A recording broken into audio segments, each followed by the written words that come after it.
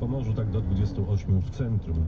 Wiatr z kierunków zachodnich podczas burz nawet do 100 km na godzinę w porywach, ale tylko wtedy, tak to dość spokojny. Rozpocznij awaryjne nagrywanie wideo.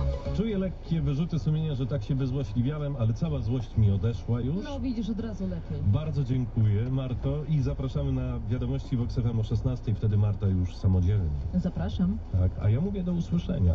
I Pitbull, Mark Anthony, Rain Over Me.